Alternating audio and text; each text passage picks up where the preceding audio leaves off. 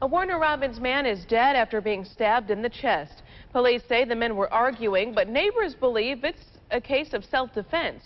WGXA's Chase Ambrose has more. Warner Robins police are still following leads in a fatal stabbing from over the weekend. Houston County Coroner Danny Galpin tells WGXA Antonio Miller died of a single stab wound to his chest. Miller and another man were reportedly arguing at the Memorial Terrace Apartments on North Davis Drive where Miller was staying.